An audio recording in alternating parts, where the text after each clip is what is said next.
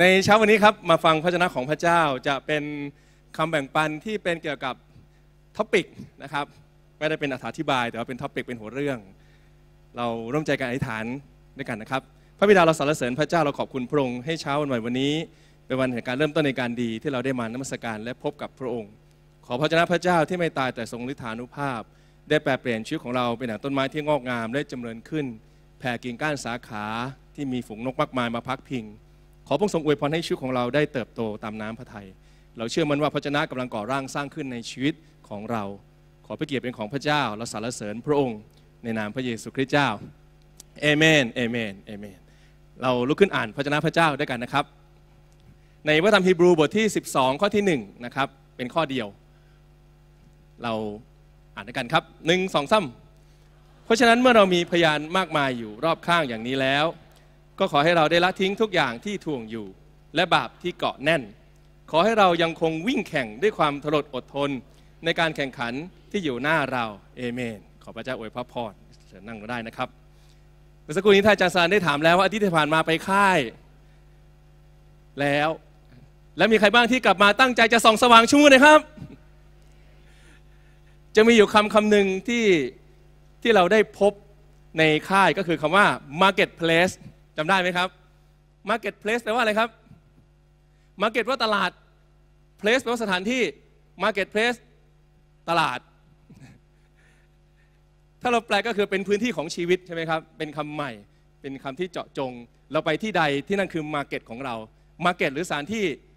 คือชีวิตคือพื้นที่ของชีวิตคือการประกาศข่าวประเสริฐ คือชีวิตที่เราได้สำแดงออก marketplace ไม่ได้เพียงแค่ตัวเรามีผู้เป็นผู้เชื่ออยู่ในคริสตจักร แต่เราเดินออกไปปฏิบัติรับใช้พระเจ้า ทุกๆทที่คือกำลังมีคนมารับความรอดผ่านชื่อของท่านเอเมนไหมครับค่ายที่ผ่านมาเราได้เรียนรู้มีกี่บทครับ หลายบทมาก บทแรกความสว่างที่ไม่ได้ถูกถังครอบไว้ใช่ไหมครับ เราควรส่องสว่างออกไป บทที่สองนะครับก้าวออกจากความมืดมิด เราจะเดินในความสว่างนะครับ ที่ต้องออกมาจากสิ่งเก่าๆเดิมๆนะฮะบทที่ 3 ก็คือบ่าวที่รู้งานนะครับว่า เราเป็นผู้รับใช้ของพระเจ้า เราควรมีมุมมองอย่างไร เราควรมีมุมมองที่ถูกต้องต่อสิ่งต่างๆ เป็นผู้รับมอบฉันทะที่ดี ในบทที่ 4 เราได้พูดถึงพันธกิจในพื้นที่ชีวิตของเราว่า เราไปอยู่ที่ใดนำมาซึ่งการเปลี่ยนแปลงนำสิ่งดีในพระชนะในพระเจ้าลงไปในพื้นที่ที่นั่น และบทที่ 5 ก็คือการส่องสว่าง คือส่องสว่างกว่าที่เคย เมื่อก่อนเคยส่องสว่างแล้ว แต่เราส่องสว่างมากยิ่งขึ้นเอเมนไหมครับพี่น้องที่รักครับ ตอนนี้เราได้เข้าใจแล้ว และรู้ว่า กลับจากค่ายเป็นสิ่งที่ต้องทำไม่ได้ต้องทำเมื่อเกิดการฟื้นฟูใจ เฉพาะช่วงสัปดาห์นี้ แต่การส่องสว่างจะเป็นเส้นทางที่ยาวไกล และเดินไปจนถึงวันสุดท้าย ตัวอย่างอันหนึงที่ผมประทับใจของอาจารย์ก๊อฟอาจารย์ก๊อฟบอกว่า น้ำหนึ่งแก้วที่เราถือนั้นหนักไหมน้ำหนึ่งแก้วไม่หนัก ถ้าเราถือเพียงแป๊บเดียว มันไม่ได้ขึ้นอยู่กับว่าเราถือแก้วนั้นหนักแค่ไหน แต่ประเด็นอยู่ที่ว่ามันอยู่ที่ว่าเราถือไว้นานแค่ไหน มันอยู่ที่ว่าเราถือมันนานแค่ไหน นั่นแหละ ยิ่งนานมันก็จะหนักขึ้นเรื่อยๆ จริงไหมชีวิตของเราการส่องสว่างนั้นเป็นหนึ่งช่วงชีวิตของเรา มันไม่ได้ส่องสว่างแค่ขณะใดหรือขณะหนึ่ง แต่เป็นการส่องสว่างที่หนึ่งช่วงชีวิต นั่นหนึ่งชื่อชีวิตคือเป็นช่วงชีวิตที่ยาวนานฮีบรูบทที่ 12 ข้อหนึ่งนั้นได้กล่าวว่า ขอให้เรายังคงวิ่งแข่งด้วยความทรหดอดทน ในตอนนี้ได้หนุนใจว่าให้เราได้วิ่งอย่างทรหดอดทน พูดพร้อมกันทรหดอดทน นั่นหมายความว่าให้เรามีใจที่รับผิดชอบกับสิ่งที่อยู่ข้างหน้า ผมนึกถึงภาพของกีฬาอยู่ประเภทหนึ่ง ที่ปัจจุบันผมก็พยายามที่จะฝึกฝนอยู่ สิงหานี่ก็จะเกือบครบปีละ กีฬานี้มีชื่อว่ามาราธอนนะฮะไม่ทราบว่าตากล้องจะต้องการมุมไหนไหมฮะพี่น้องที่รักครับ ชีวิตเรานั้นไม่ใช่การวิ่งแข่งแค่ร้อยเมตร เพราะการแข่งร้อยเมตรเนี่ยพี่น้องดูภาพสิครับการแข่งร้อยเมตรเนี่ยมันเป็นแค่เพียงสั้น ๆ ช่วงแป๊บเดียว 9 วินาที 10 วินาที แทบไม่ได้หายใจหายใจ ระวังสตาร์ทเปรี้ยงวิ่งสิบวิถึงแล้ว จบเลิก พอจบนอนพัก แต่การวิ่งมาราธอนนั้นนักวิ่งเขาต้องรู้ว่า เขาจะต้องคิดว่าระยะทางไกล พี่น้องรู้ไหมครับมาราธอนระยะทางไกลเท่าไหร่ 42.195 กิโลเมตร ที่พี่น้องอยากรู้ว่าไอ้จุด195 มาจากไหน พี่น้องไปเปิดใน วิกิพีเดียก็จะทราบนะครับ มันเป็นระยะทางที่ error มาเล็กน้อย เพื่อให้เกิดการใกล้กันของผู้ชมเลยก็ว่ากันไป มาราธอนได้ถูกแบ่งไว้ประมาณนี้นะฮะ ตอนนี้ผมก็เริ่มแรก fun run ก่อนนะครับ5กิโลเมตรเป็นระยะวิ่งเล่นๆ สนุกสนาน 10.5 นี่มินิแล้วนะ21 นี่เขาเรียก half marathon คือครึ่งทาง 42 นี่ full marathon เพื่อนผมนี่ไป full marathon กันหลายคนละ รุ่นพี่ผมเนี่ย50 กว่าๆเนี่ยไป full marathon กันแล้ว ผมเนี่ยยังตอกตักตุกตักอยู่แถวระหว่างมินิกับฮาฟอยู่นะฮะ แม็กซิมัมวิ่งสูงสุดตอนนี้ 17.5 ครั้งเดียวนะยังไปไม่ถึงนะฮะมันมา 10 13 8 9เลยก็ว่ากันไป แต่สิ่งนี้กำลังมีข้อคิดที่ดีครับทำไมถึงเอามาราธอนมาพูด เพราะว่าชีวิตของเราเนี่ยนะครับเราไม่ได้ต้องการวิ่งอย่างจบเร็วที่สุด แต่เป็นชีวิตที่ต้องอาศัยความสม่ำเสมอในระยะทาง ความเชื่อของเราเป็นความเชื่อในระยะทางที่ยาวไกล เราเดินติดตามพระเจ้าจนกว่าวันหนึ่งพระเยซูจะกลับมารับเราเอเมนไหมครับหรือชีวิตของเรานั้นพระเจ้าจะเป็นตั๋วเชิญให้เราไปสวรรค์ความเชื่อไม่ได้มาเพียงแค่หลังค่ายแล้วจบ แต่เป็นความเชื่อที่ยังคงต้องรักษาเส้นทางนี้ไว้อย่างยาวไกล เรามาดูด้วยกันครับ การวิ่งมาราธอนที่แท้จริงนั้น ไม่ใช่การวิ่งแข่งกับคนอื่น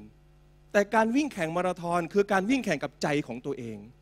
มันไม่ได้สำคัญว่าเราจะเข้าอันดับไหน แต่มันสำคัญที่สุดก็คือว่าตัวเราได้เข้าเส้นชัยหรือเปล่า บางคนบอกว่ากีฬามาราธอนเป็นกีฬาที่บึกบึนถึกๆ แต่มันมีเสน่ห์ที่แรกผมก็ไม่ได้คิดหรอกครับว่าจะไปจะไปวิ่งออกกำลังกายอะไร แต่พอดีนึกถึงตรงนี้เอออาจารย์ก๊อฟได้พูดไว้ในตอนบทบทเรียนตอนสุดท้ายของค่ายบอกว่า การที่เรามีชีวิตในทางพระเจ้าการส่องสว่างของเราเปรียบเหมือนกับนักวิ่งมาราธอน ตอนนั้นกำลังคิดอยู่เลยว่าเอ๊ะจะเตรียมคำเทศอะไรดี เป็นคำเหมือนกับเป็นเรมาที่แตะต้องในจิตใจ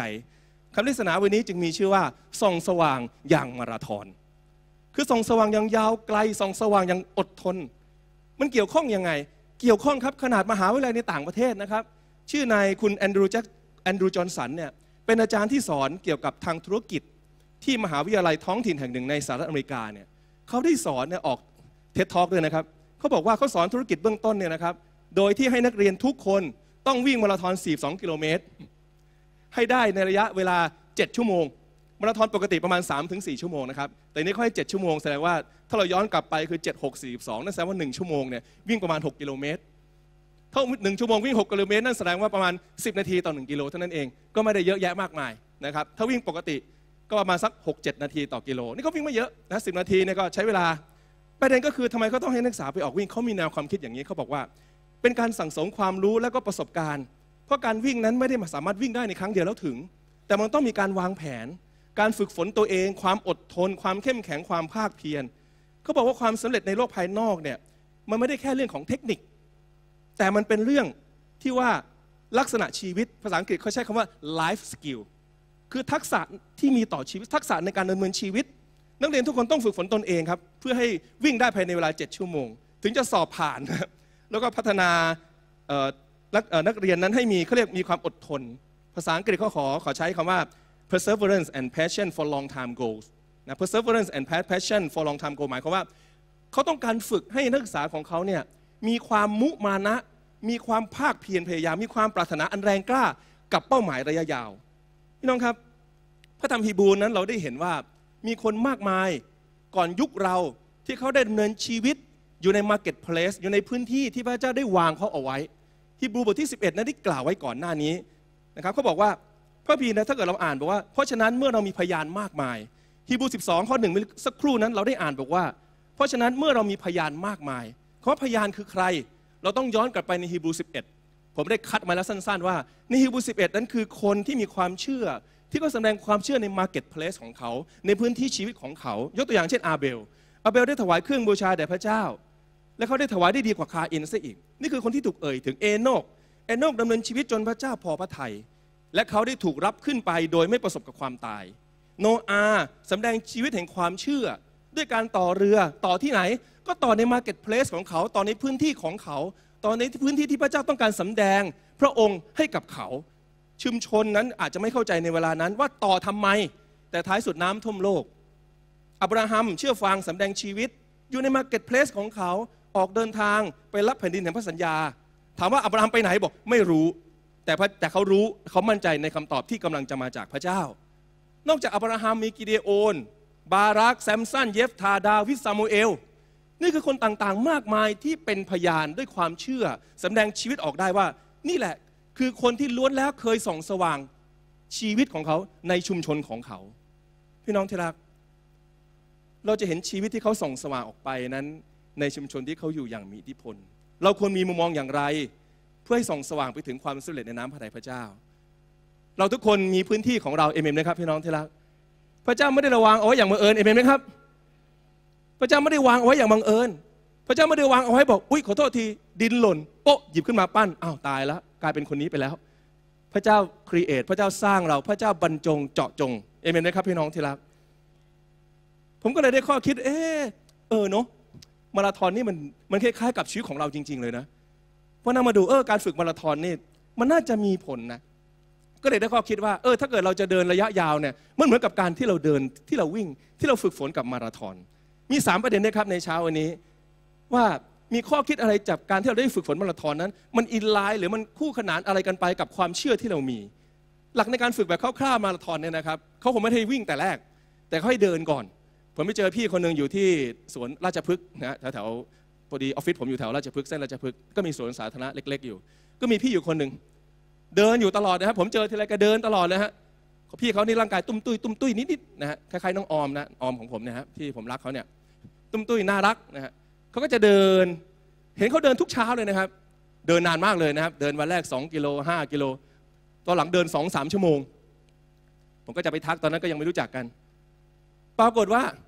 มาเจอเขาอีกครั้งหนึ่งผมก็ไปวิ่งแถวที่บ้านด้วยวันไหนไปที่ทำงานไม่ทันผมก็วิ่งที่บ้านตอนเย็นอะไรเงี้ยไปเจออีกทีเขาเริ่มวิ่งแล้ววิ่งวิ่งเรื่อยๆวิ่งเรื่อยๆ หุ่นจากตุ้มตุ้ยน่ารักนะเพียวลงเพียวลงเพียวลง กล้ามเริ่มขึ้นกล้ามเริ่มขึ้นเริ่มมาแล้วปัจจุบันนี้เนี่ยโหวิ่งวันละสิบกิโลพลิ้วเลยนะฮะอายุ 50 กว่ารีทายรีทายเมื่อก่อนสูบจัดนะสูบบุหรี่จัดดื่มเหล้าหนักนะผมวิ่งปุ๊บแล้วโอ้โหหุ่นดีเพรียวเลยบอกพี่เริ่มยังไงครับผมเริ่มเดินก่อน เช่นเดียวกันมี 3 ส่วนนะในโครงสร้างในโครงร่างนี้ก็คือว่าชีวิตเราในความเชื่อนั้นต้องรักษาเส้นทางแล้วก็ต้องรักษาเรียกระยะระยะเวลาเนี่ยในการเดินนะพระเจ้าให้เวลาแต่ละคนไม่เหมือนกัน งั้นมาราธอนของเราเนี่ยถ้าเปรียบเทียบเส้นทางเนี่ยมันไกลสั้นไม่เหมือนกัน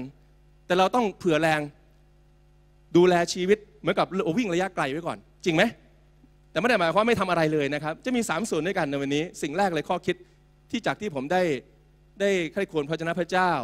ในค่ายเรื่องส่องสว่าง แล้วรวมถึงกับสิ่งที่ผมกำลังฝึกฝนนะถ้าท่านสนใจก็พูดคุยกันหลังใหม่ สิ่งแรกคือเรื่องเดิน เดินส่องสว่างยามรุ่ง การเดินเป็นการเริ่มต้นที่ดีนะครับเป็นการ warm อันยังไปสู่การวิ่งในระดับถัดไปเนี่ยสิ่งสำคัญเลยที่ผมได้ข้อคิดนี่ก็คือว่าทุกคนล้วนแล้วมีจุดสตาร์ทการเริ่มต้นเนี่ยสำคัญทุกคนต่างมีจุดเริ่มต้น ทุกคนมีอาจจะมีต้นทุนไม่เหมือนกัน เงินที่อยู่ในกระเป๋า แต่ละคนอาจจะไม่เหมือนกันบ้านเราอาจจะสองชั้นหนึ่งชั้นไม่เหมือนกัน แต่ทุกคนจะต้องมีจุดสตาร์ทแน่นอนพระเจ้าให้เราเริ่มต้น ประเด็นคือจุดเริ่มต้นนั้น คือพระเจ้าคาดหวัง สิ่งสำคัญที่จะต้องทำก็คือเริ่มต้นที่ท่าทีที่ถูกต้อง ต้นทุนชีวิตโอกาสไม่เท่ากันไม่เป็นไร แต่เราเชื่อว่ามีมากพอในพระพรที่มาจากพระเจ้าพี่น้องลองดูสิครับ นี่ marketplace ชัดๆเลยเห็นไหมครับ ใส่ชุดสูทออกวิ่งเลย แต่โอเคอันนี้เนี่ยในกีฬามาราธอนจริงๆเขาคงไม่ได้ออกวิ่งแบบนี้นะครับเขายืนวิ่งแล้วออกจุดปล่อยจุดสตาร์ทเพราะมันไกลมาก แต่นี่กำลังให้เป็นภาพเหมือนกับจุดเริ่มต้นเนี่ยใส่สูทเลยนะ หมายถึงว่าอะไรครับmarketplace ใช่ไหมขอให้ไปอยู่ในที่ที่พระเจ้าเรียก สิ่งนี้เนี่ยนักวิ่งทุกคนต้องเจอ คนที่อยากจะส่องสว่างต้องเจอ แล้วเมื่อมีจุดสตาร์ทแล้วพี่น้องอะไรต่อไปรู้ไหมครับ ทุกคนรู้แล้วมีจุดสตาร์ทบอกพร้อมกันจุดสตาร์ททุกคนต้องมีจุดสตาร์ทต้องออกเริ่มอิสยาห์บอกแล้วลุกขึ้นฉายแสงพี่น้องลุกขึ้นแล้ว แต่ต้องออกเดินประเด็นก็คือว่าผมได้ซื้อรองเท้ามาระยะเวลาพอสมควรภรรยาบอกเราจะออกไปวิ่งกันที่รักซื้อมาเลย ซื้ออาดิดาสมาอย่างดีเลยปุ๊บโอ้โหเสียค่าโฆษณาแบบไม่แน่ใจ อยู่ในกล่องมันอยู่ในกล่องได้อย่างดีมากเลย ทุกครั้งที่หยิบออกมาโอ้โหมันเหนื่อยนะเอาเก็บไปก่อน ยิ่งว่ามันเหนื่อยนะเก็บไปก่อนการตัดสินใจพี่น้องที่รัก วันแห่งการตัดสินใจเนี่ยจับรองเท้ามาใส่เนี่ยไม่ใช่เรื่องง่ายเลยนะจุดสตาร์ทของแต่ละคนเนี่ยรองเท้าก็มีแล้วจุดสตาร์ทก็มีแล้วสำคัญเรื่องอะไรครับ ใจสำคัญคือเรื่องของหัวใจ พระคัมภีร์มีแล้ว ใบปลิวมีแล้ว NBC เรียนแล้ว รับสุจิเออรับอะไรนะ รับวุฒิบัตรมีแล้ว จะบอกรับสุจิบัตรอันนั้นใบเกิดนะฮะคนละใบไม่ใช่จำผิด วุฒิบัตรเกียรติบัตรมีแล้ว ขาดอะไรครับ ขาดหัวใจที่จะออกไป พี่น้องที่รักการเริ่มต้น จุดสตาร์ทสำคัญคือต้องมีวันแรกเลย เริ่มต้นเป็นเรื่องไม่ง่าย ถ้าไม่ตัดสินใจรองเท้าเนี่ยจับมันผูกซะตอนมัดเชือกครั้งแรกนะโอ้โห ต้องขอบคุณพระเจ้าที่มีเพื่อนในสมัยเรียนมหาลัยน่ารักมาก เชิญผมเข้าร่วมกลุ่มผมบอกเฮ้ยเพื่อนถามในไลน์เฮ้ยเกรดวิ่งป่ะบอกเฮ้ยไม่ค่อยมีเวลา เพื่อนบอก มีอยู่แล้ว นะใช้ภาษาพ่อขุนกัน เขาไลน์มามีอยู่แล้ว ผมบอกเฮ้ยเดี๋ยวเดี๋ยวก่อนเชิญผมเข้าไปในกลุ่มไลน์เลย พอเข้าปุ๊บเอาไงเลยทีเนี้ยข้อมูลเต็มเพียบเลย เอาซะหน่อยแล้วกัน วันแรก 800 เมตร โอ้โหถ้าลิ้นผมยาวได้ถึงหน้าโบสถ์คงยาวไปแล้ว เหนื่อยมาก แต่พี่น้องที่รักครับ เมื่อเราเริ่มต้นออกเดินนะลุกขึ้นส่องสว่างเนี่ย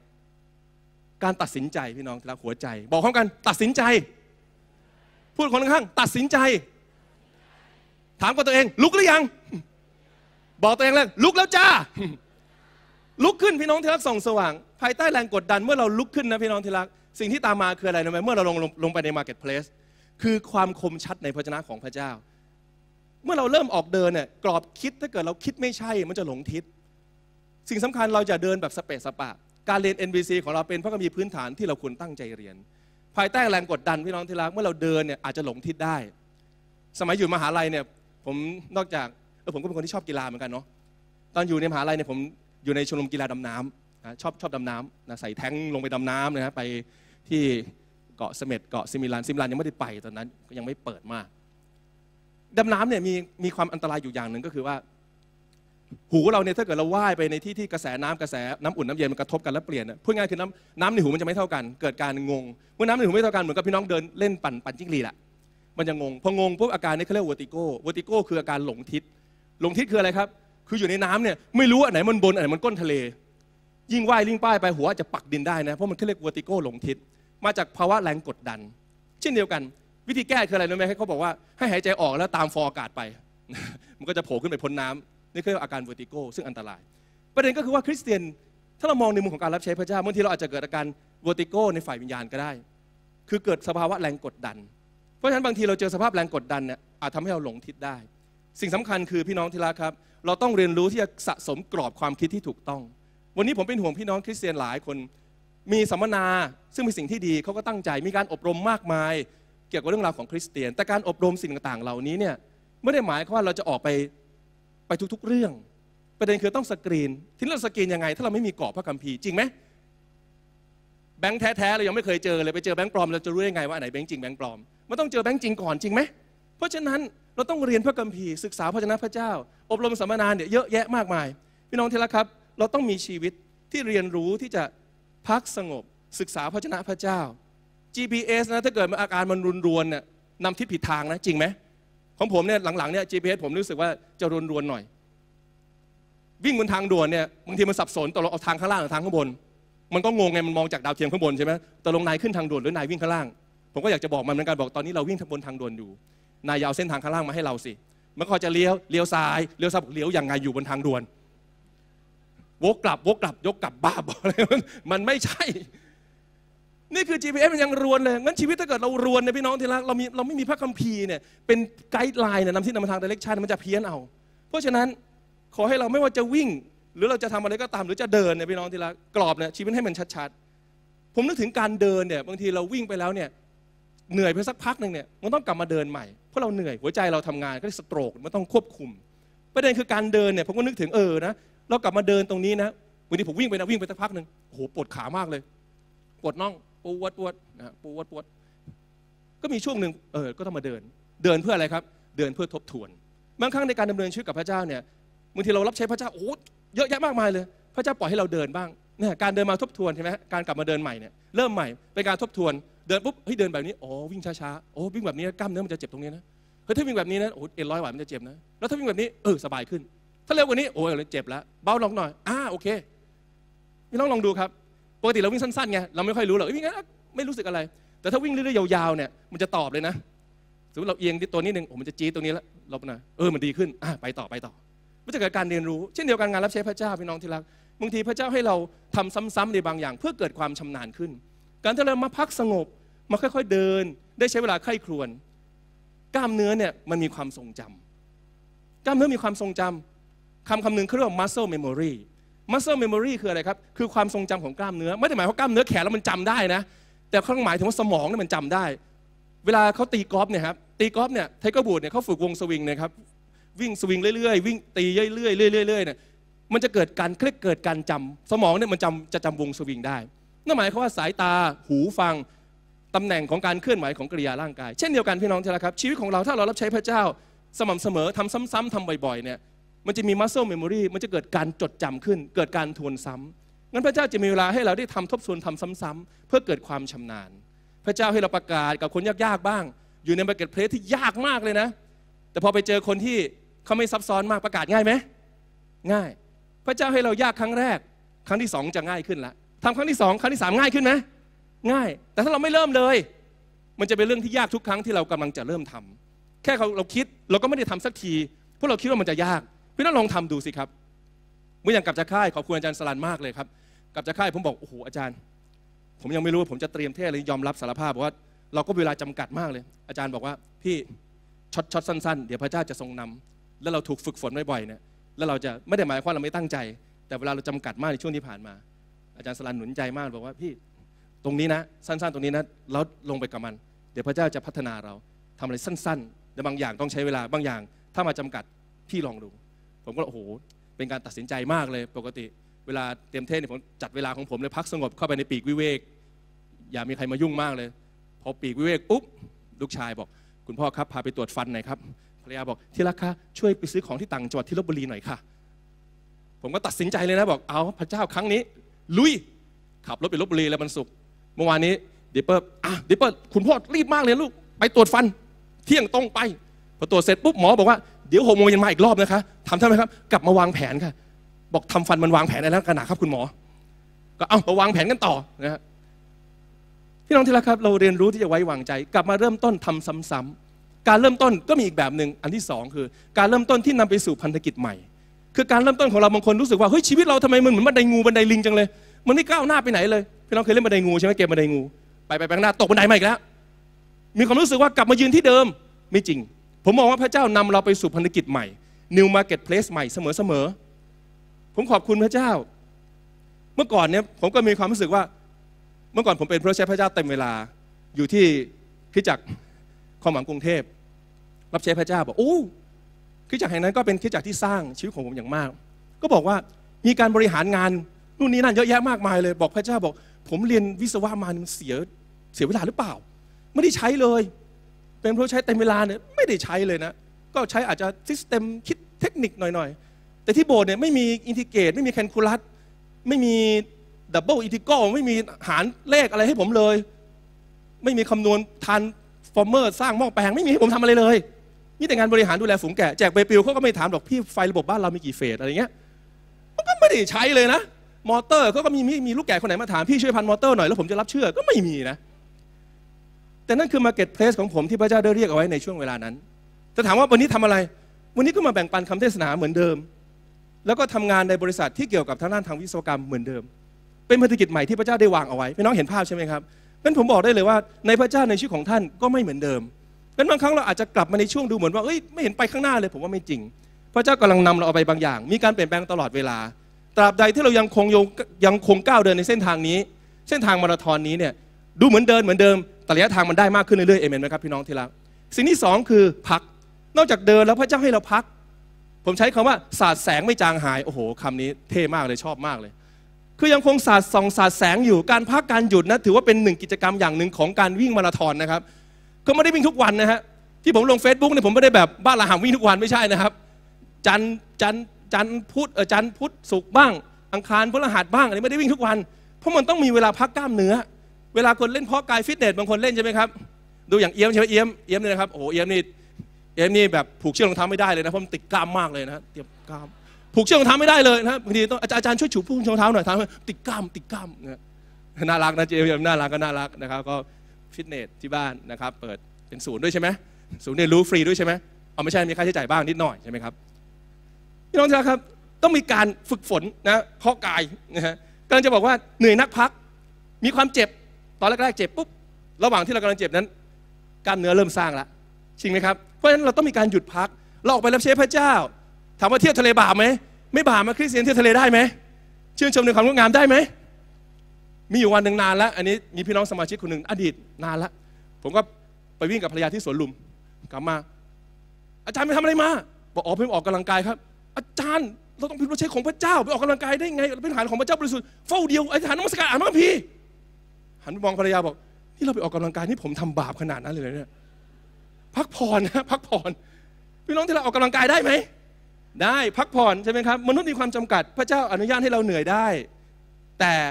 ก็ควรเรียนรู้ที่จะหยุดพัก แต่หยุดพักอย่ายาวเหยียด อย่านอนเหยียดยาว อย่านอนจนเหนื่อยบางคนบอกโอ้พระเจ้านอนเหนื่อยมากเลย ต้องทำไงตื่นมาพักบ้าง นอนจนเหนื่อย สุภาษิตบทที่หกข้อเก้าคนเกียจค้านเอ๋ยเจ้าจะนอนนานเท่าไหร่เมื่อไหร่เจ้าจะลุกขึ้นจากหลับ ช่วงนอนเป็นช่วงเวลาที่แสนสบาย ฝนตกไม่อยากลุกไม่อยากเริ่มทำงาน แต่อย่ามากเกินไป พระคัมภีร์เตือนเราว่าไม่ให้เรานั้นตกอยู่ในช่วงเวลาทดลองเรื่องพักนานเกินไป พระเจ้าประทานวันสบาโตให้กับชาวยิวนั้น เพื่อให้เขาได้พักผ่อน เพื่อให้เขาได้ฟื้นฟูและเดินชีวิตต่อไปสำคัญคือไม่ควรพักในเวลาที่เราควรทำงานเอเมนไหมครับ พักในเวลาของพระเจ้า อย่าพักในช่วงเวลาทำงานบางคนประกาศดึกดื่นใช่ไหมตื่นมาตอนเช้าสิบโมง งานกำลังเข้าเลย หัวหน้างานมาทำอะไรอะดุยดุยอ๋อหนูกำลังพักอะดุยดุยทำไมพักแบบนี้ เป็นเวลาพักสงบค่ะ ต้องเรียนรู้ในการพักเธอพักไม่ได้ตอนนี้ วันเวลาทุกวันเป็นของพระเจ้า นี่มันเวลาทำงาน ทุกอย่างเป็นของพระเจ้าค่ะ เดินต่อมาดุยดุยสบอถามมาทำอะไร หนูมาพักสงบค่ะทำไมล่ะ หนูกำลังหางานใหม่ไอ้ฐานเผื่อดุยดุยด้วยนะเพราะดุยดุยทำแบบนี้นี่เอง พี่น้องที่รักครับหลายครั้งเราพบว่าโอกาสนะมีความสำคัญมาก อย่าลืมนะครับจังหวะของชีวิตของแต่ละคนไม่เหมือนกัน เพราะฉะนั้นบางทีเราพักในเวลาที่โอกาสต้องทำการมาถึงด้วย เพราะฉะนั้นจับเวลาจับจังหวะหัวใจของพระเจ้าให้ดี เส้นทางเดินมันไกลมาก ต้องเรียนรู้ในการจัดเวลา นักวิ่งนั้นต้องจัดเวลาต้องควบคุม ถ้าเร่งเกินไปก็เร็ว เมื่อก่อนผมมีช่วงหนึ่งผมวิ่ง 9 กิโลเมตรคิดว่าเฮ้ยวันก่อนวิ่ง 4 กิโลเฮ้ยมันน่าจะโอเคนะ วันนี้วิ่ง 9 ตั้งเป้า ซัดเลยช่วงกิโลสองกิโลเมตรแรก ซัดเต็มเหนียวเลย พอกิโลเมตรสาม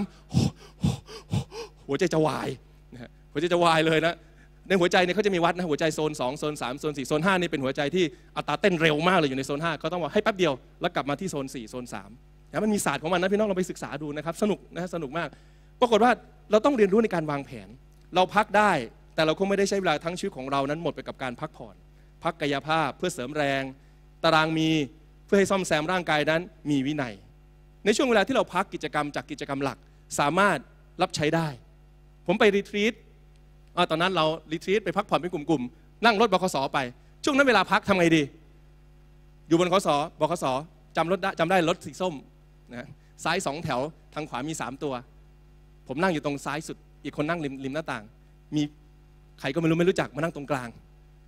เอาไงดีมีสองอย่าง พักสงบหรือจะคุยต่อ ตัดสินใจคุยต่อ คุยเรื่องราวของพระเจ้า สวัสดีครับ ชื่ออะไรครับอ๋อผมชื่อเวียนครับเหรอครับชื่อเล่นน้องชื่ออะไรครับเวียนหัวเหรอครับอ๋อไม่ใช่ครับ ชื่อเวียนเฉยๆครับแล้วชื่อเล่นน้องมีไหมอ๋อมีครับ ชื่อเต่าครับ คุยกันไปคุยมาลงรถนัดหมายได้เจ้าเต่ามา นะไม่ใช่เต่าเป็นตัวๆนะครับ เป็นบุคคลนะฮะน้องเต่ามารับเชื่อพระเจ้าในวันอาทิตย์เป็นเวลาต่อมา นี่คือเราเราอยู่ที่ไหนใน marketplace ของเรา เราไม่ได้บอกว่าโอ้ผมเป็นคนพื้นที่ราชพฤกษ์ครับ เพราะฉะนั้นผมจะแจกไปเป็นที่ราชพฤกษ์ประกาศเรื่องราวพระเจ้าที่นั่น ถ้าวันไหนผมนั่งรถไปเที่ยวหัวหินประกาศไม่ได้ ผิดที่ผิดที่ เดี๋ยวทูตสวรรค์เดี๋ยวทูตสวรรค์จัดการเอาไม่ได้ไม่ได้คนละพื้นที่พี่น้องเราแล้วใช่พระเจ้าไม่มีโซนแบบนั้นเอเมนไหมครับพี่น้องที่รักใครมารอดเอาให้รอดก่อนตอนเนี้ยจริงไหม ไม่ต้องกังวลโอ้ไม่เป็นไรไม่เป็นไรพื้นที่หัวหินเดี๋ยวมีคนมาประกาศ เราพื้นที่ราชพฤกษ์เราดูแลตอนไม่ต้อง ที่ไหนก็ได้ ถ้ามีโอกาสมาถึง marketplace ของเราเอเมนไหมครับพี่น้องที่รักจัดเวลาดีๆครับ พักนานไปก็ไม่ดี เสียดายเวลาที่ผ่านไป ถ้าวิ่งมากไปมันก็ไม่ work เพราะเป็นการหักโหมร่างกาย เวลาเราประกาศข่าวประเสริฐของพระเจ้าเนี่ยบางครั้งเนี่ยนะครับเราอาจจะเป็นคนที่เก็บเกี่ยว เราอาจจะเป็นไม้ผลัดที่สี่จริงไหมพูดแป๊บเดียวคนมาเชื่อแล้วว่าเอ้าทำไมคุณเชื่อง่ายจัง อ๋อ ผมเคยรับใบปลิวมานานแล้ว อ๋อ เคยมีคนมาพูดเรื่อง แต่ผมไม่ค่อยสนใจ แต่พอพี่พูดเนี่ยเออน่าสนใจมากขึ้นนะ เรื่องก็เดิมๆคล้ายๆกันนะเออแต่ผมสนใจอยากรู้จักอยากรู้จักเอาเลยเอาเลยเอาเลยอยากเปลี่ยนอยากเปลี่ยนอยากเชื่อ อธิษฐานงงเลย นี่คือไม้สี่เราเป็นไม้สี่เพราะเราไม่ได้ประกาศแต่แรกจริงไหมแต่บางเวลาเราเป็นไม้หนึ่งไงเหมือนกับไม้ผลัดไม้หนึ่งประกาศไปยังไม่เชื่อ ไม่เป็นไร มันจะมีไม้สองไม้สามไม้สี่เดี๋ยวเป็นวันเวลาของพระเจ้าเองเอเมนนะครับพี่น้องที่รักเพราะฉะนั้นเวลาเราเจอคนมากมายที่ยังไม่พบความรอด ไม่ต้องกังวล ว่าท่านจะเป็นไม้หนึ่งหรือไม้สี่หรือไม้สองหรือไม้สามจะไม้อะไรก็ได้ เราเชื่อว่าเราจะเป็นอุปกรณ์ของพระเจ้าเอเมนนะครับพี่น้องที่รัก สิ่งสำคัญคืออยู่ในวาระของพระเจ้า วาระของพระเจ้าคืออะไรครับ อยู่ในปัญญาจารย์บทที่3ข้อ1ถึง8ผมจะอ่านสั้นๆบางช่วง บอกว่ามีฤดูกาลสำหรับทุกสิ่ง มีวาระสำหรับเรื่องราวทุกอย่างภายใต้ฟ้าสวรรค์ มีวาระเกิด มีวาระตายวาระเพาะปลูกวาระถอนสิ่งปลูกทิ้ง พระเจ้ามีแผนการสำหรับเราทุกคนครับ บอกพร้อมกันพระเจ้ามีแผนการ นั่นแสดงว่าวาระเป็นช่วงเวลา วาระนั้นอีกวาระหนึ่งวาระเกิดวาระตาย ปลูกถอนทิ้ง ร้องไห้ หัวเราะ ไม่ได้มีวาระเดียว เวลาร้องเพลงนมัสการชื่นชมยินดีพระเจ้าอวยพรพี่น้องหัวเราะไหมพี่น้องลองหัวเราะหนึ่งสองสามหัวเราะคำถามคือ แล้วพี่น้องหัวเราะตลอดเวลาไหมล่ะ เดินไปฮาเลลูยาเอเมนเสียใจด้วยนะครับที่จากมีคนจากไปในครอบครัว แล้วไม่ได้หัวเราะตลอดเวลา แล้วเราก็ไม่ได้เสียใจตลอดเวลาถูกไหมมันเป็นวาระมีมีบ้างไม่มีบ้างในบางอย่าง ประเด็นก็คือว่าเราอยู่ในวาระแบบไหนของพระเจ้า ตามวาระเวลาของพระเจ้าให้ทันก็แล้วกัน พระพระองค์นั้นทรงเป็นพระเจ้าที่อยู่ในทุกวาระของชีวิตของเรา พระเจ้าไม่ได้อยู่กับเราบางวาระ แต่พระเจ้าอยู่กับเราทุกทุกวาระ เราจะไม่มีความสุขเลย เราจะมีความรู้สึกว่าจะต้องส่องสว่างอย่างจำใจอย่างจำเจอย่างจำทน ถ้าเราไม่มีเป้าหมายในการดำเนินชีวิต แต่เพราะเรารู้ว่าเป้าหมายของเราชัดเจนคือเส้นชัยที่ปักเอาไว้ในตรงนั้น เราจึงเดินอยู่ในเป้าหมาย รักษาเป้าหมายไว้จนถึงความสำเร็จเอเมนไหมครับพี่น้องที่รักแม้บางวันจะเป็นเส้นทางที่ต้องเดินโค้งๆบ้างพอเส้นโค้งปุ๊บมันมองไม่เห็นเป้าหมาย แต่ถ้าเกิดเราเป็นประเภทลูกแกะหวันไหวใหญ่โตเจอทางโค้งหน่อยเฮ้ยเป้าหมายหายแล้ววันไหวพระเจ้าหายไปแล้วนะเนี่ยทำไงดี เอาทองมารวมกันโลรอแค่เลยรอโคทองคำเลยใช่ไหมไม่เห็นโมเสสแป๊บเดียว พี่น้องที่รักอย่าหวันไหวใหญ่โตเอเมนไหมครับ ยืนหยัดมั่นคงเป้าหมายของเราต้องชัด เส้นชัยของเรามีไหมจุดเริ่มก็ของเราเองถูกไหมครับ ไม่ต้องมายุ่งกับใคร เป้าหมายของเราเป็นเป้าหมายเดียวกัน ในแผ่นดินสวรรค์ของพระเจ้าเอเมนไหมครับพี่น้องที่รักงานของเราเป็นหนทางหนึ่งอะไรก็ได้ที่ทำให้เรานั้นได้รับใช้พระเจ้า ความสุขนั้นมีเมื่อไหร่ มีเมื่อเราระลึกถึงอยู่เสมอว่าพระเจ้าเป็นผู้ประทานงานกิจการงานให้กับเรา พระเจ้าเป็นผู้ประทานบทบาทให้กับเรา พระเจ้ามีคุณค่านิรันดร์ในพระองค์อยู่แล้ว และเรามีคุณค่าในสายตาของพระองค์ไม่ได้ขึ้นกับสายตาใครๆ พี่น้องขอให้เราภาคภูมิใจสิครับเออดีไหมครับ ให้เราภาคภูมิใจว่าเราเป็นคนที่มีคุณค่าในสายตาของพระเจ้าเสมอ โลโก้ที่ติดหลังรถบรรทุกบอกว่าค่าของคนอยู่ที่ผลของงาน ไม่ใช่ ค่าของคนอยู่ที่ว่าเรามีคุณค่าอยู่แล้วในตัวตนเอเมนไหมครับพี่น้องที่รักงั้นถ้าบอกว่าค่าของคนอยู่ที่ผลของงาน งั้นวันหนึ่งสมมติเรารีทายออกจากงานงั้นคนผู้สูงอายุที่ไม่มีงาน ไม่มีผลงานออกมาเขาก็ไม่มีคุณค่าหรือ ไม่ใช่ เรายังคงมีคุณค่าตราบจนถึงลมหายใจสุดท้ายของชีวิตเอเมนไหมครับพี่น้องที่รักพระเจ้าให้คุณค่ากับเราพระเจ้าประทานพระบุตรองค์เดียว เพราะเรามีคุณค่า ทุกคนล้วนแล้วแต่มีคุณค่า เรามีคุณค่านิรันดร์ในพระองค์ เรามีคุณค่าเสมอในพระเจ้า ผลจากน้ำพักน้ำแรงของเรา นั่นคือของขวัญที่พระเจ้านั้นให้กับเรา พี่น้องที่รักครับ ขอให้เราถ้าเราจะพักสงบ จงพักอย่างเข้าใจ และจงพักอย่างเป็นที่ถวายเกียรติพระเจ้า ประการสุดท้ายประการที่ 3 คือวิ่ง บอกพร้อมกันวิ่ง โอ้เวลาผมงวดมากเลยนะครับ วิ่งคืออะไรครับ วิ่งแบบสาดแสงแรงกล้าเลยครับโหนี่เป็นบทเพลงส่องให้ฟ้างดงามเลยนะฮะพี่อิทธิมาเลยแถวนี้นะครับนักดนตรียิ้มเลยนะฮะการวิ่งเนี่ยผมผมประมวลแล้วมีประมาณ 2 แบบนะฮะวิ่งแบบแรกคือวิ่งแบบ speed speed เป็นไงครับโหซัดอย่างเดียวเลยครับวิ่ง speed เนี่ยนะนะฮะเวลาซ้อมเนี่ยเขาเรียกว่าซ้อมแบบ interval คือวิ่งอย่างเดียวเลย วิ่งเท่าไหร่ครับ วิ่งสมมติวิ่ง 400 เมตร วิ่ง400เมตรพัก 2 นาที 400 เมตรพัก 2 นาที 400 เมตรพัก 2 นาที คือวิ่งเพื่ออะไรให้เรารักษามีอัตราการเร่ง speed แต่วิ่งแบบนี้ค่อนข้างจะเหนื่อยมาก แล้วกล้ามเนื้อค่อนข้างอาจจะต้องต้องแข็งแรงหน่อย แต่ผมจะพูดถึงอีกอันหนึ่งคือวิ่งเขาเรียกลองรันลองรันนะครับหมายถึงวิ่งยาวๆเป็นการเก็บระยะทาง เห็นระยะทางไกลๆนะพี่น้องที่เราต้องบริหารเวลาดีๆ ถ้าทุ่มแรงเยอะไปโอ้โหตกเลย รับใช้พระเจ้าโอ้เอาเต็มที่เลย ไม่หลับไม่นอน ฟื้นฟูยกเก้าอี้เมื่อก่อนผมที่จัดโต๊ะต้อนรับมาแล้วโอ้โหโบสถ์เราก็ใหญ่มากเลยครับจัดโต๊ะต้อนรับที่นี่มีตัวเดียวเมื่อก่อนจัดโต๊ะต้อนรับ อาจารย์สลัดสมัยเราวัยรุ่นจำได้เลยใช่ไหมครับสิบสี่ตัวจัดโต๊ะต้อนรับโต๊ะละเจ็ดโอ้โหแบบ ไม่ใช่วิ่งมาแบกนะครับ จัดแบบขึ้นบันไดด้วยนะ หิวขึ้นหิวลงจัดโต๊ะโอ้โหตอนเช้านี่ตัวเปียกก่อนเข้านมัสการรุ่งอรุณเป็นอย่างนั้น สิ่งที่ได้คืออะไรครับ สิ่งที่ได้คือปวดหลัง ปวดหลัง ตอนเราเด็กเราวัยรุ่นใช่ไหมเฮ้ยไม่เป็นไรขึ้นหัดยกผู้ใหญ่ก็เตือนระวังนะระวังไม่เป็นไรครับพี่มาเลยยกครับยกครับ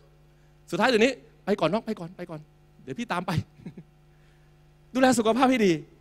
อย่าหักโหม แต่ตรงเป็นคนจงเป็นคนที่สม่ำเสมอ การทำงานของหัวใจกับกล้ามเนื้อในการวิ่งนั้นต้องมีความสัมพันธ์กัน จิตใจกับร่างกายสัมพันธ์ไปด้วยกัน งานพระเจ้าพี่น้องที่รักคิดดีๆ มันเป็นงานระยะยาวเล็งดีๆ อาจารย์ก็บอกให้เราไปอย่างสมดุลใช่ไหมไปอย่างทุ่มเทด้วย คือไปอย่างเข้าใจแล้วก็ทุ่มเท ให้เราโฟกัส ว่าเราโฟกัสนั้นวิ่งแล้วต้องได้ระยะยาว ไปแล้วต้องถึงจุดหมายปลายทาง แล้วเวลาเราสาดส่องสาดแสงเนี่ยนะครับ ผมชอบคำนี้เขาบอกว่า สาดแสงนั้นให้มันสุดซอยเลย คือเต็มที่บอกพร้อมกันสาดแสงสุดซอยเวลาเราพูดไม่ต้องเกรงใจคนข้างๆนะสาดแสงสุดซอย สุดปลายถ้ำคือเวลาเราจะทำอะไรก็ตามพี่น้องครับ สปินมันทำเต็มที่เอเมนไหมครับถึงช่วงเวลาสปินถึงช่วงเวลาสปีดสาดแสงทั้งทีนะอย่าแบบสาดแสงแบบลิบลีหิ่งห้อยอะไม่เอาไฟไฟฉายเนี่ยมันมีบีมมีลำของมันให้มันถึงปลายถ้ำเลยจริงไหมไม่ใช่มาฉายแบบแค่หน้าประตูถ้ำอะ คนในหลังถ้ำปลายถ้ำสุดซอยในคนปากส่องแสงเฉพาะปากซอยอย่างเงี้ยไม่เอาส่องแสงทั้งทีปลายซอยก็เห็นสุดซอยก็เห็นเอเมนนะครับพี่น้องที่รักประกาศทั้งทีประกาศให้มันครบประกาศชัดเจน เวลาประกาศครบประกาศยังไงเขาบอกว่าตอนผมถูกสอนใหม่ๆบอกว่าเวลาประกาศเนี่ยห้าเรื่องต้องครบประกาศข่าวประเสริฐเนี่ยห้าเรื่องมีอะไรบ้างครับ GMS JS อะอ่านนะพี่ขออีกทีดิ GMS JS เขาบอกท่องไว้ 5 นิ้วเวลาประกาศเนี่ยตอนเด็กๆนะครับ GMS G เรื่องอะไร G God พูดเรื่องรับพระเจ้าของพระเจ้าทรงสร้างโลกโอ๋อโอเค M M คือ man อ๋อมนุษย์นะครับมนุษย์เป็นการทรงสร้างของพระเจ้านะครับดูมือข้างหลังด้วยนะมนุษย์เป็นการทรงสร้างของพระเจ้าอ๋อมนุษย์เป็นเป็นคนอะไรครับ S อ๋ออันที่สาม sin มนุษย์เป็นคนบาปเป็นคนบาปเป็นคนบาปบาปเป็นไงครับ J J จีซัสพระเยซูมาไถ่ครับ S salvation อะไรครับอ๋อความรอดครับห้าล่างครบแล้วครบแหละ G M S J S God พระเจ้าพูดพร้อมกัน G พระเจ้า M man มนุษย์ J G เอ่อ S sin ความบาป J Jesus พระเยซู และ S สุดท้ายคือ salvation คือความรอดเอเมนไหมครับในประกาศให้ครบพี่น้องที่รักครับแม้ท่านเป็นแสงสีเดียว พระเจ้าก็ไม่เคยดูถูกแสงของท่าน เป็นแสงริบหรี่ริบหรี่พระเจ้าก็ไม่เคยดูถูก พระเจ้าไม่เคยดูถูกจำไว้ว่าแสงริบหรี่ก็ทำสิ่งยิ่งใหญ่ได้ เมื่อมันอยู่ในที่มืดมิดดีอามูดี้ได้บอกไว้ครับ ขอสไลด์ปุ๊บขอสไลด์จงมา คิดถึงอาจารย์ธงชัยเลยนะครับในวันนั้น เขาบอกว่า remember a small light will do a great deal when it is a very dark place very dark place คือแสงนิดเดียวเล็กๆเนี่ยนะครับ มันจะมีความสำคัญมากไปเป็นกรีดเดียวเลยนะฮะยิ่งใหญ่มากเลยในในตอนไหนที่มันมืดมิดนั้นเพราะนั้นพี่น้องที่รักทุกคน บางคนบอกโอ้ยเราไม่ได้เป็นแสงสว่าง เราไม่ได้สว่างสวยเหมือนอาจารย์กริดแม้เราเป็นแสงที่ลิบรีอยู่ แต่มันก็ส่องสว่างได้ในที่มืดมิดเอเมนไหมครับพี่น้องที่รัก ท่านเป็นบุคคลที่มีความสำคัญ หรือบางทีเราอาจจะเป็นนักวิ่งที่อยากจะกลับบ้าน วิ่งมากๆอยากกลับบ้าน ผมเคยเป็นวิ่งจนเหนื่อยมากเลย ตั้งเป้าวันนี้ 11 กิโลโอ้พระเจ้าวันนี้ 9 กิโลเหนื่อยมากเลย กลับบ้านได้ไหมเนี่ยพระเจ้าก็เออได้คุยกับพระเจ้าด้วยนะอดทนอดทน อย่าเร่งอย่าเร่งอดทนอยากกลับบ้านพระเจ้า อีกสามนาทีได้ไหมเนี่ยอดทน ภาคเพียรเหมือนวิ่งไปหาลูกแกจะกลับบ้านแล้วเหรอเป็นเสียง มันเป็นการฝึกจิตใจของเราฝึกฝนนะตั้งเป้าไว้แล้วไม่ใช่เหรอเลขสิบเอ็ดไม่ใช่เลขสิบเอ็ดตอนนี้ไม่เลขเก้าเองอีกสองเลงสองโลเองลูกฝึกฝนมันเป็นการฝึกฝนจิตใจนะผมได้รับการฝึกอย่างมากผ่านการวิ่ง ต้องไปให้ถึงไปต่อให้ได้ มีอยู่ช่วงหนึ่งอาจจะเอาเราอาจจะรู้สึกว่าอยากจะกลับ แจกไปปลิวโอ้โหทำไมลูกแก่เราดื้อจังเลยคนนี้ ไปเยี่ยมเยียนทำไมไม่เอาเลย แต่พระเจ้าฝึกฝนครับอดทน บางคนนั้นอดทนมากๆ ไปอีกทิไปอีกทิศหนึ่งเลยเรียกเบิร์นเอาท์เพื่อนเคยได้ยินคำว่าเบิร์นเอาท์ไหม เบิร์นเอาท์คืออาการคนที่เหนื่อยล้าจากการตรากตำทำสิ่งนั้นนานๆ ผมอยากหนุนน้ำใจครับ เรียนรู้ที่จะพักสงบ บางครั้งการส่องสว่างที่เราต้องเผชิญนั้น มันอาจจะต้องแลกมาด้วยบางอย่าง เทียนนั้นจะต้องแลกด้วยไฟไฟไส้ที่มันมอดไหม้ฉันใด งานของพระเจ้าการจ่ายราคาก็มีต้นทุน อาจารย์สุเมธได้กล่าวไปว่า ความซื่อสัตย์นั้นใช้ต้นทุนจริงไหมคำสอนของอาจารย์สุเมธในค่ายบอกว่าความซื่อสัตย์นั้นมีต้นทุน อย่าเป็นพระเจ้าพระเจ้าที่ทำอะไรแค่ผ่านๆอยากให้มันเสร็จเสร็จๆ มาค่ายแล้วครับ อาจารย์สลันมาค่ายแล้วครับ ผมมาแล้วครับนี่ไงแล้วพอเข้าห้องประชุมก็ติดถึงตะดึงตึ้งตึงตะดึงตึ้งตึงตึงตึงตึ้งตึงเงี้ยฟังเพลงนมัสการก็เดินไปข้างนอกสมมติสมมติเชื่อว่าเราไม่มี คนสารสัมพันธ์ไม่มี แต่อย่าเป็นแบบนั้น ผมนึกถึงตอนที่ผมวัยรุ่นไปเรียนเรียนพิเศษ เพื่อนไปเรียนกัน เราไปเรียนด้วย ไปเรียนเสร็จปุ๊บสิบนาทีเบื่อแล้วหน้าเบื่อมากเลย ออกไปข้างนอก ไปเที่ยวดีกว่าตายแล้วดิเปอร์รู้ด้วยนั่งฟังตายแล้วอันนี้อันครั้งเดียวนะล้วนครั้งเดียวครั้งเดียวครั้งเดียว เดี๋ยวดิปเปอร์เอามั่ง มีความรู้สึกมันมันเบื่อทำอะไรไม่เต็มที่ไม่สุด แต่มุมหนึ่งก็คือว่าโปรแกรมก็มีผลสำคัญใช่ไหมครับ ผมกลับจากค่ายนะ ถามลูกถามภรรยาเหมือนกันเสียงเดียวกันเลยบอกค่ายปีนี้เร็วไหมบอกเร็ว ปีที่ผ่านมาก็เร็ว จัดน้อย จริงๆแล้วเขาจัดเหมาะแล้วแหละ แต่ความรู้สึกว่ามันมีความสุขจริงไหมมันการมาจากการกลั่นกรองวางตารางเวลา วางระบบแบบแผน ชีวิตเราจะสนุกได้เช่นเดียวกัน ถ้าชีวิตของเรานั้นมาจากการวางแผน มีการกำหนดวางแผนชีวิตดีๆ ชีวิตจะไม่น่าเบื่อ เป็นที่สำคัญคืออย่าถอดใจอย่าหยุดวิ่ง อย่าออกนอกเส้นทางมาราธอนนะครับเอเมนไหมครับพี่น้องที่รักวันนี้สั้นๆ วันนี้เดินวิ่งและพัก เส้นทางมาราธอนเป็นเส้นที่ไกล และต่อเนื่องผมอยากให้กำลังใจทุกท่าน ผมประทับใจพี่น้องสารสัมพันธ์ครอบครัวของเราที่นี่นะครับท่านเป็นบุคคลที่อดทนและยืนหยัด ขอให้ท่านได้ภาคเพียรสิ่งสำคัญที่สุดคือเรื่องของใจ ขาไม่ไหวแต่ใจไปต่อมันจะไปได้ระยะทางมาราธอนนั้น 42 กิโลเมตร จะมีจุดวัดใจอยู่จุดบริเวณหนึ่งประมาณที่หลักกิโลเมตรที่ 35 ถึง 37 ช่วงนั้น energy หรือพลังงานมันจะเริ่มหมดอย่างมาก กล้ามเนื้อเนี่ยมันไปไม่ไหวแล้ว หลังจากกิโลเมตรที่ 37 ถึง 42 ถึงจะสิ่งที่จะทำให้เขาไปได้คือหัวใจใจล้วนๆ ใจล้วนๆ อย่างหนุนใจให้เรารักษาลู่วิ่งให้ดีครับ อย่าแวะข้างทางก่อน อย่ามีส่วนกับมารอย่าข้องแวะอย่าใจอ่อน อย่ากลับไปละเมิด เราไม่กลับไปอีกแล้ว บอกพร้อมกันไม่กลับไปอีกแล้ว และไม่กลับไปอีกเลย คือเผาสะพานทิ้งเอ็มเอ็มนะครับพี่น้องที่รักบทเรียนที่สำคัญของนายแอนดรูว์แจ็กสันยังพูดตอนสุดท้าย ขออีกนิดนึงเขาบอกว่าเมื่อได้ขึ้นกับโอกาสที่ได้ทำในสิ่งที่ยิ่งใหญ่ ฟังให้ดีนะครับ ไม่ได้ขึ้นกับโอกาสที่ได้ทำสิ่งยิ่งใหญ่ แต่มันเกี่ยวกับการได้ทำสิ่งเล็ก ๆ อย่างเสมอต้นเสมอปลาย การวิ่งมาราธอนภารกิจงานของพระเจ้าที่อยู่ในมือของเรา เรากำลังวิ่งอยู่นั้นมันเราอาจจะไม่ได้แบกงานใหญ่โต แต่ผมบอกได้ว่างานนั้นมีเกียรติสำหรับท่าน แต่เรากำลังแบกสิ่งนั้นไปถึงจุดหมายปลายทาง บอกคนข้างๆอย่าทิ้ง อย่าเลิก เราไม่ได้คิดเท่านั้น แต่เราลงมือทำเปลี่ยนทีละเรื่องชีวิตเปลี่ยนไปเรื่อยๆ วิ่งไปเปลี่ยนชีวิตทีละเรื่องทีละอย่างสำรวจตนเองทุกวัน เราจะไม่อธิษฐานขอให้เราเรียนเก่ง แต่เราจะอธิษฐานขอให้เราเป็นคนขยันและตั้งใจจดจ่อและทบทวนกับบทเรียนเสมอ เราจะไม่อธิษฐานขอพระเจ้าช่วยปลดหนี้แต่เราจะอธิษฐานให้เราเป็นคนที่มีสติปัญญา